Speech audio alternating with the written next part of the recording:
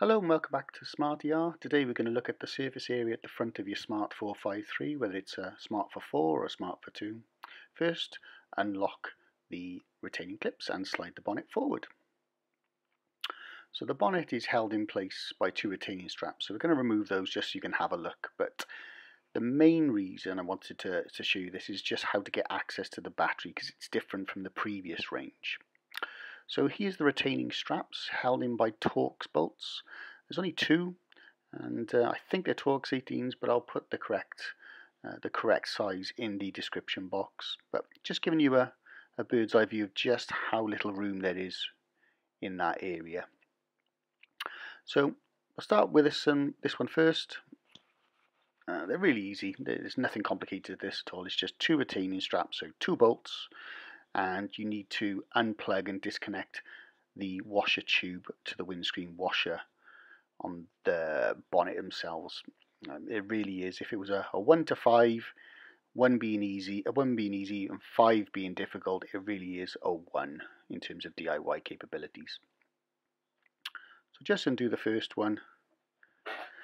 You will need to be mindful that uh, keep hold of that bonnet because there's going to be nothing retaining. It. It's not like the original 451 where there were two retaining points where you could actually stand it on the front of the car and you didn't have to drop it. So I do miss that function.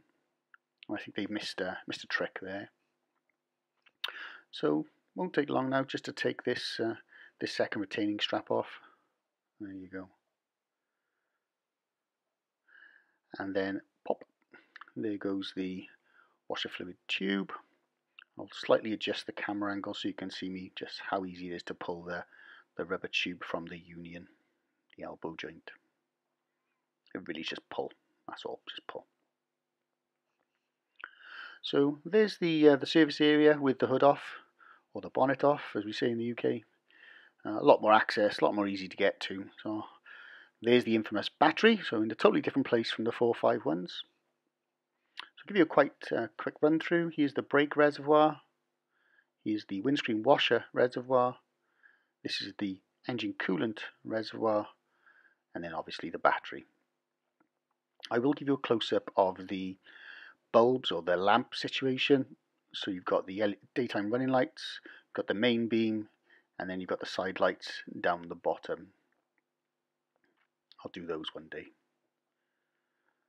So all that remains now is to pop the hood back on. So I'm not going to do the bolting back on the bolts bit. You slide it in at an angle. There's a little bit of a knack to it.